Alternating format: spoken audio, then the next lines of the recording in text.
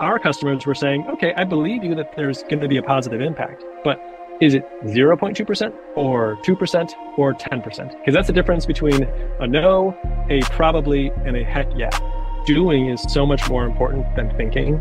So for those who are on the fence, just jumping in and starting it is such an important first step. Hello, and welcome to the Solar Maverick podcast, where solar meets entrepreneurship and experience. I'm your host, Benoy Thanjan, so let's get into it. Hi, this is Benoy, your host the Solar Maverick podcast. I'm really excited to have on this episode Paul Grana. He's a solar software leader and he's the general manager of Helioscope at Aurora Solar. I've actually now known Paul for maybe it's eight to 10 years when you were at they didn't use RE Plus back that then it was Solar Power Northeast in Boston in February, maybe eight or nine years ago when you were first demoing Helioscope. So Paul, I'm excited to have you on the podcast. We did uh, earlier this year Empower 2023 with Tim Montague, and where we were talking about the investment tax credit and some of the new provisions of the IRA. Paul, welcome to the podcast. I'm glad to have you. Thanks, Benoy. It's great to be here. I'm excited because you're a thought leader in the industry. You've done some amazing work. I always enjoy having a conversation with you. It would be great if you could start off the podcast talking about Aurora Solar and your role at the company. Sure thing. So, Aurora Solar is the leading cloud platform for selling and designing solar. We span both residential and commercial, and we've got market leading products for both segments. On the residential side, that is what we call Aurora Solar, and on the commercial side, it is Helioscope. Our estimate is that we've supported over 12 gigawatts worth of solar being built and offsetting over 60 million tons of CO2. So the equivalent of 16 ish coal fired power plants. But even behind that is supporting literally thousands of solar businesses in the US and internationally. And then my role at the company is general manager of Helioscope at Aurora Solar. So I am close to everything that happens for us on the C&I side of the house. Definitely, that's a really great description of Aurora and the Helioscope product specifically. Can you talk about your background and what got you interested in solar and in software? Sure. My story started 2008, 2009 ish. At that time, that was before solar software was really a thing, but I started out with doing module level power electronics. You know, like in that time frame, there were about a dozen companies that had raised a Series A. So everyone had about five million in the bank and about zero dollars in revenue. Enphase and SolarEdge were two of the dozen, but like it definitely wasn't clear who would succeed, right, and make it to an IPO. So I worked for two other companies, not named Enphase or SolarEdge, but it was a great spot to start because delivering a something that novel, right, for the first time, telling people, hey, you can put this circuit board behind your solar module was a super complicated thing to deliver and value proposition to uncover. Obviously, there's a safety story. Obviously, there's a data story. Obviously, there's a design story.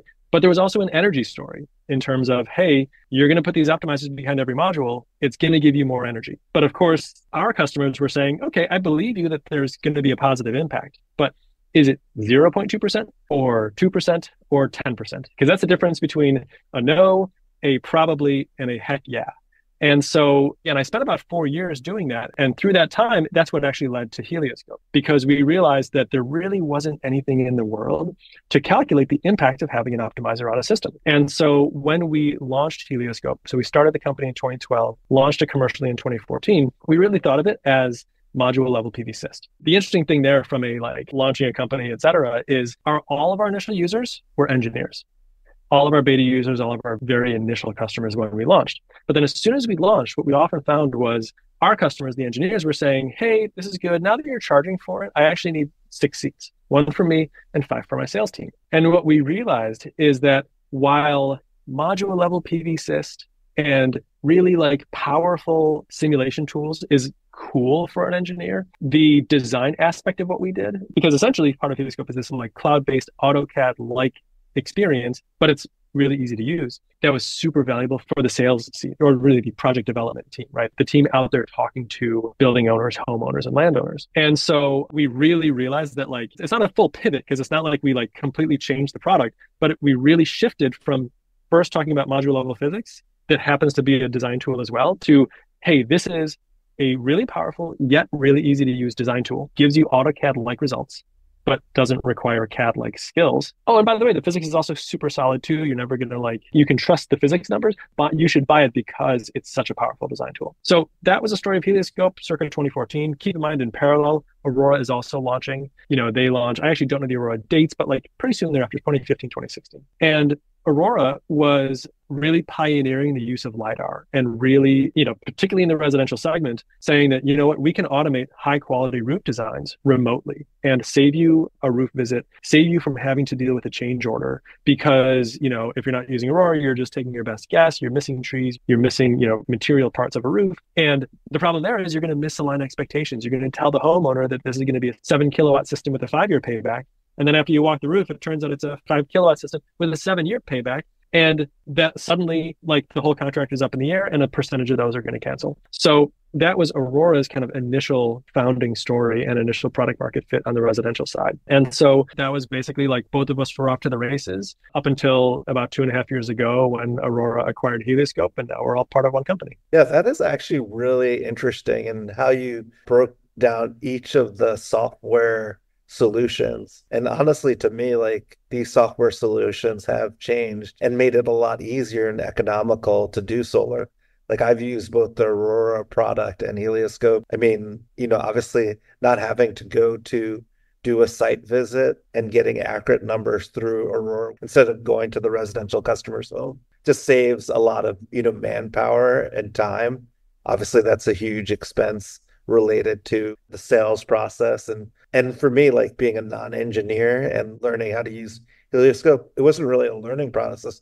What i loved and what you mentioned was that it's actually pretty simple for any user to really pick up. And i would always ask like the engineer to provide the pv drawing but then once i got access to helioscope it was just interesting for me to look at because i was doing commercial industrial to just see the different options that you had using the product. And then you know looking at even carported systems the type of panels or inverters that go or or even at certain angles. So i mean i think like what aurora has done is really innovative and i appreciate you explaining it. Can you talk about like how helioscope when you first obviously created the product and what you talked about has changed? And what are some of like the newer features that you think people would be really interested that add a lot of value because we do have a lot of obviously developers and engineers who listen to the Solar Maverick podcast. Yeah, absolutely. So a couple things I'd say there. The first actually, I mean, I already mentioned LiDAR is a big part of the Aurora story. And we've incorporated LiDAR to, to Helioscope. And so it's also just a phenomenal way to get a lot of that benefit of a better design earlier in the process. Now, notice I'm not using the exact same language. You know, with Aurora, you'll often hear like, you know, eliminate the truck roll and eliminate the roof visit. In commercial, you might still visit the roof. So it's sort of like I'm not making the same exact claim word for word. But the point being, you can get to a much better level of accuracy earlier in the process, which there's still value in if there's some sort of fatal problem in the roof envelope or something near it, you want to find that out as early as possible, right? So, you know, it's definitely like a really valuable component, not to mention just not guessing on the pitch of a roof, right? LiDAR is great for telling you that. So um, things like that. LiDAR, Paul, just if people are not familiar. Yeah, great question. So LiDAR, I actually should know it's an acronym, eh, which I don't know the details of what it is, but anyone who with access to the internet can Google it or ChatGPT it. But basically, it's a point cloud, a set of points that is a 3D data set. So it allows you to take whatever building you're looking at. I'll just think of it this way from a user's point of view, in a world without LiDAR, you're looking at essentially a two dimensional tile, you actually call them tiles, of what that roof looks like from a satellite or from a plane. With LiDAR, you have a three dimensional set of points and a surface that you project on top of those points for what that building looks like. So now instead of seeing that there is a tree, you've got the three dimensional height and shape of the tree. Now instead of seeing that there's a roof here and knowing that it's southwest facing, you know that it has this exact pitch at that southwest orientation. And so it's just a much higher quality data set to then on either do the design by hand or automate that design. Yeah, that's a great explanation. I appreciate Paul you going into that. And that's amazing to hear that the Helioscope product has incorporated that in the software. And you're right. The earlier you could get to a more accurate drawing, it really helps the whole, you know, process moving forward. Yep. And it's actually a lot of time and man hours too. The other area that we've been working on in Helioscope, and then I'll give you an answer on the Aurora side too. The other area for Helioscope is we've invested a fair amount and continue to invest in our API capabilities. And the way I would talk about that is that there's an analogy that I've been starting to use a lot, which is that every solar company is really like a factory. If you were to sketch it out, sketch out a project lifecycle from start to finish. Projects move through a process the same way inventory moves through a factory. And just like a factory, there are bottlenecks, there are redundancies, there's work in process, there's throughput and cycle time and all that stuff. And it's a powerful concept because it comes up in a bunch of different ways. But one of the ways that that comes up is we as a company, and this is where Aurora's on the Resi side have been doing this for a long time, and we're now rolling it out, doing more and more of it on the commercial side, is working with our customers to first of all map out what their process is. Some customers know their process and they already have a schematic in Visio or something like that. Some customers don't have it sketched out, like they're doing it, but they might not have the diagrams behind what they're doing. So in that case, it's a kind of a mutual process to write it down on paper. Once you've got that though, it's incredibly powerful because then you can start to think through which steps are working, which steps are not. Should we change who is doing it? Should we change the order in which we're doing it? Should we automate a process between some of our software products? So super common is, you know, should we be automating data into, for example, Aurora or Helioscope, or automating data back from Aurora or Helioscope back to your servers? And when I say it like that, it sounds really simple, but it's not because doing it well and doing it in a way that supports your process is important and hard. And we have a team of engineers, that really fundamentally process engineers that work with our customers to do this. And so that theme of that kind of sales engineering and the APIs that can help our customers automate things is really powerful for driving again higher quality fewer change orders and problems and or lower costs through that whole project lifecycle so that's another area that we're doing more and more on the helioscope side and really has been a strength of aurora solar for many years now as a leading authority in the solar industry, life gets very busy. In addition to traveling the world as a speaker and for my entrepreneurial ventures, I'm a son, friend, investor, and entrepreneur. And when it comes to delivering a great sounding show for my listeners, I choose Podcast Laundry. All I have to do is record and send, and the rest is done. They do the dirty work of podcasting for me. Yes, social media graphics, quotes, show notes, master editing, and much more. All I have to do is record. So if you're a busy podcaster like me with an engaged audience and want to free up your time to do more of what you you love, like going to the gym or spending time with loved ones, go to podcastlaundry.com to schedule your consultation or call 347 871 8273. That's podcastlaundry.com or 347 871 8273. Yeah, that's really helpful to understand. And I don't know if this is confidential or not, but what do you see like in the future for how software is going to be optimized going forward? Obviously, people talk about AI. It would be curious to get your perspective where you see like enhancements or upgrades going forward potentially. Yeah, it's a good segue to the other thing I was going to mention is on the Aurora side, on the residential side, we've been rolling out this product called Aurora AI, which actually it kind of answers your question in actually two different ways. So first of all, let me back up and provide the context for Aurora AI. So Aurora AI is one of the AI products that we've got, where it gives our users the ability to request a roof and the system generates that roof really quickly. We're talking, depending on, of course, like again, I just talked about process, right? So it depends on where you are in the process and what information you have and don't have. But generally speaking, you're looking at 15 seconds, amazingly fast. And so I'll talk about what that does for our customers in just a second. But back to the precursor to that because that's also another answer to your question. The precursor to that is that Aurora also has been supporting our customers with services for a long time. So someone in the audience might think of Aurora as a pure play software company. And in many ways, we are a pure play software company. We are a software first and foremost, but we also do have the ability to provide design services for our customers so that if our customers don't have a team of internal users, like the most standard thing is we want to give you software so that our customers ha- can use it from a browser. You know, that's our most vanilla and our, you know, we love for that to happen. But we definitely have customers who say, I don't have the team to do this. Can you actually do it for me? We have a solution for that as well. In those cases, we have now done the work ourselves because we've done the work, it's fair for us to be training our AI models on that. You know, going back to, I assume everyone is seeing ChatGPT today has lots of questions about what are you training your AI data on? Well, guess what? That is a valid question and it's an important question. And in the world of Aurora, we are in a great place, which is that we're not like freestyling with our users' data. We've got boatloads of data that we've generated ourselves in the service of our customers, but we've done the work ourselves.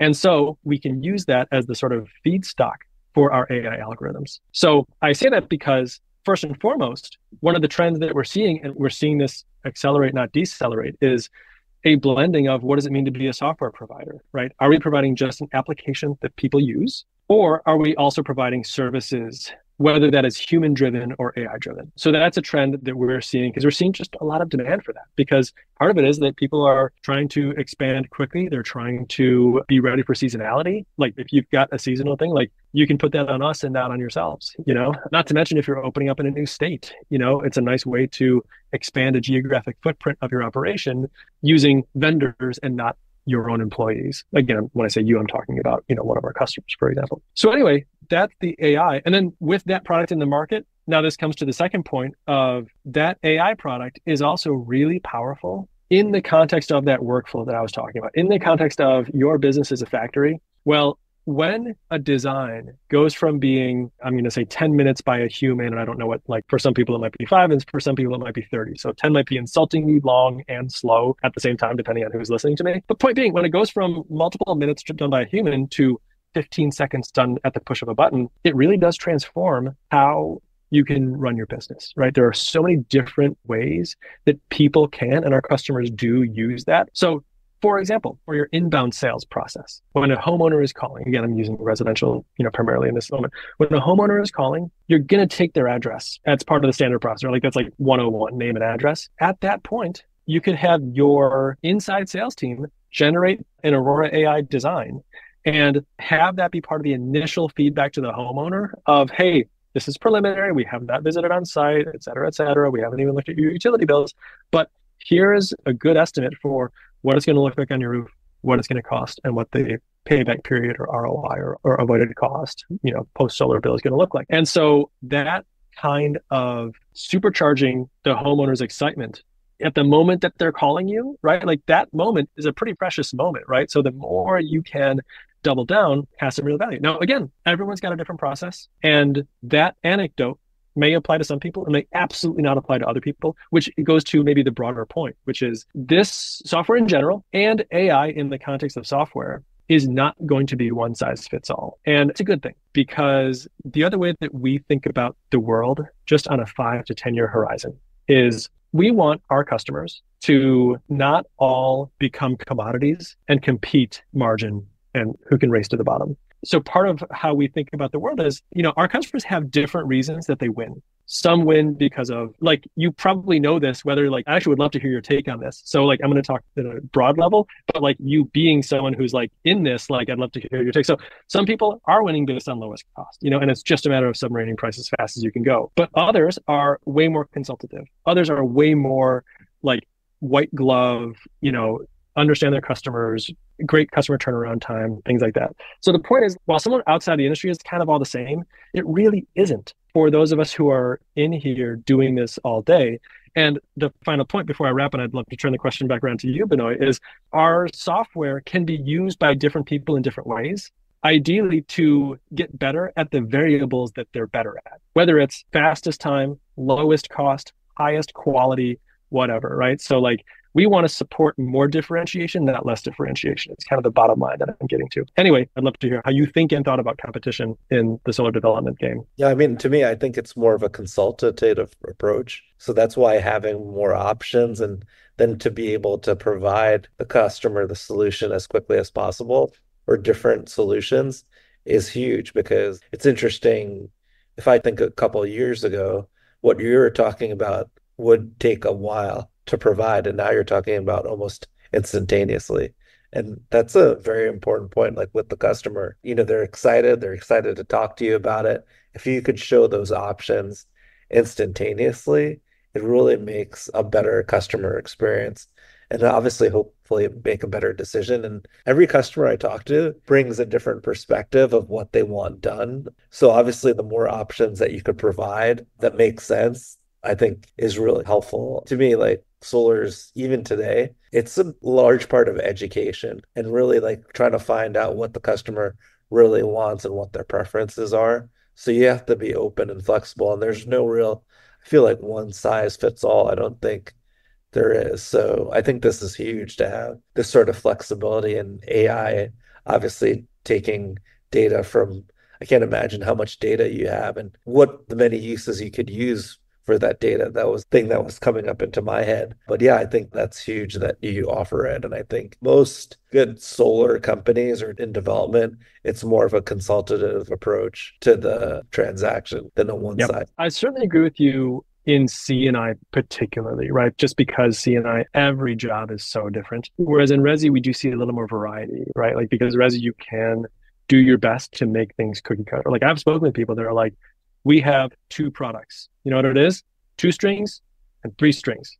That's it. You know, we'll sell you whatever it is, like, you know, eight kilowatts or 12 kilowatts or whatever the math ends up being on a per string basis. So yeah, there's a lot of ways to skin a cat in residential, but commercial, like you kind of need to be flexible, right? Just going to be so different.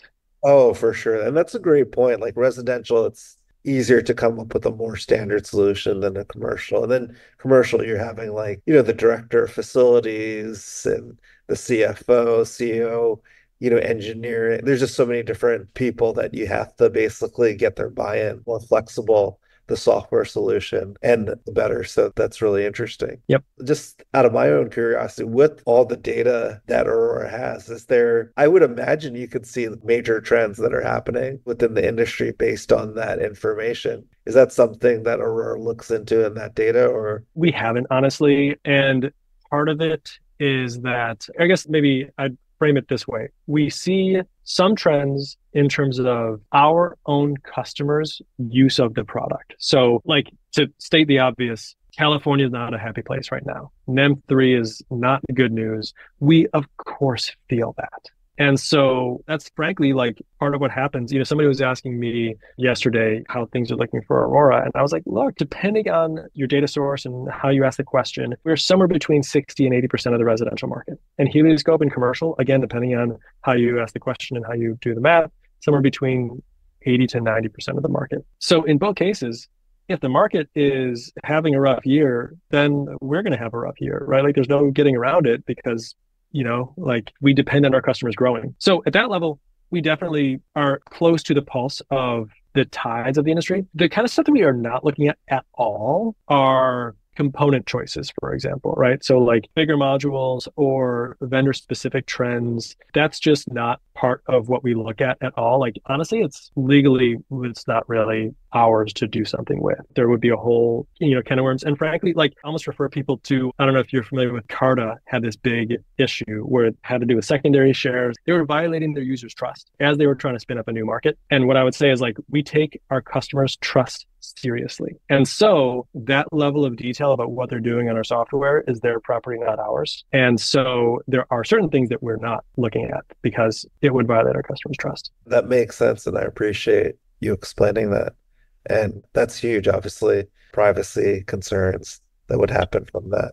Yeah, I appreciate you explaining that. Just switching gears a little bit. Aurora has like an annual event called the Empower event, which is normally in August. Can you talk about that event and maybe last year's panel as well that you're involved in as the moderator? Yeah, that's right. By the way, we got a couple of different events that are virtual. And I say that because I realize if somebody is interested in something like Empower, then they might also be interested in something like Sunrise. So both Empower and Sunrise, but they're different. Empower is industry events. So that is thought leadership think of that as the plenary panels at something like an RE Plus or an Intersolar, where you're going to go and like look at the talks and like you hear people talk about the state of the industry, technology trends, things like that. So, as you said, we've done this for a few years now. Last year, we were on a panel together talking about the impacts of the ITC, and we are planning dates. So, we don't have the dates set, but certainly people should keep an eye out for Empower because it will be coming later this year. And yeah, like it'll be just another chance to talk about what's going on in the industry. And obviously, like with such turmoil, like both there are such big headwinds and tailwinds at the same time. It's like time for thought leadership for sure. Oh, for sure. It's basically a virtual event. Anyone could register. It's free, which is great because you have an amazing panel all throughout the day. So it's just great because normally for these conferences, they charge, you know, money for those conferences. So it's great to have that thought leadership for free. And then I don't know if there's also happy hours in certain cities after it. So I went to the New York happy hour. And it was interesting to bump into people who listen to our session. That's see, really cool. Yeah, so it is pretty cool that Aurora does that. That's awesome. Is you know helping the industry with thought leadership and and especially now. I was just thinking, Paul, like the solar roller coaster just continues. You know, it does.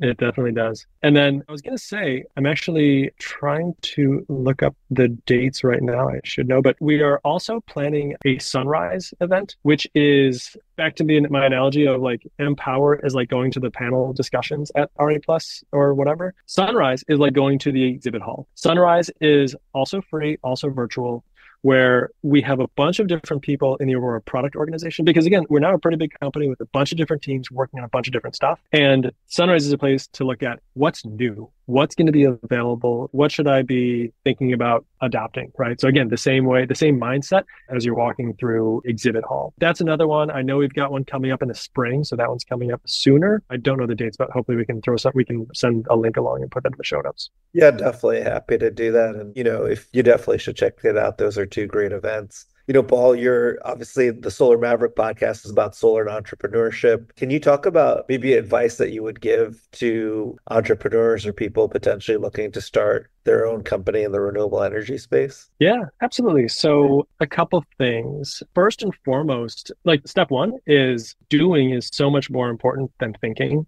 So, for those who are on the fence, just jumping in and starting it is such an important first step. And then as you do that, the two things I would say are first, you'll find that just by starting something, there's a gravity that is created. And I don't mean gravity as in like gravitas. I mean gravity like the physics sense of like you start to attract things. Often it's people are coming to you out of their own self-interest, but it's a win-win. And so if you don't have a thing, then there is no like gravitational force. But once you start a thing, like there is a gravitational force that exists. And then, you know, you're doing your best to maximize this. And by the way, I'm kind of answering, I'm cognizant that there's kind of two types of businesses here, right? There's the solar development entrepreneurship and there's the tech entrepreneurship, right? Because, and there's different levels of like getting something off the ground, but that really applies to both. And then the second piece of just getting something started is listening because you know, if like step one is like if it's the right thing to do, just get started. Like don't wait to have all the details ironed out to just get going. And then the second thing is again listening. And I'll refer back to the story that I mentioned earlier, where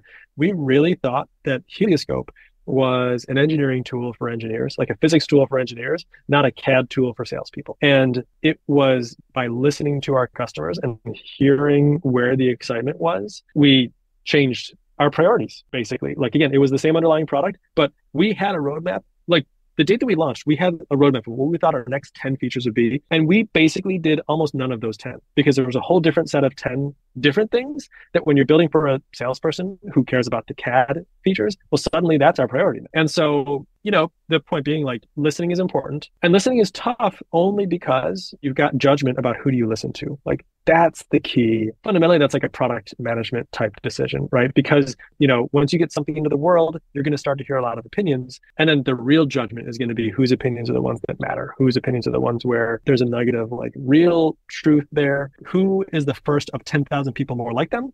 And who is the first, they're kind of a Yahoo and they're going to take you down this weird rabbit hole that won't help you at all. That's the main thing. And then the other thing that more so on the tech side, but kind of applies on both is the most important thing to starting a company is kind of like proprietary access of a pain point. In other words, people think about startup as, oh, I had that idea, as if like the product embodiment or the business plan was the important thing.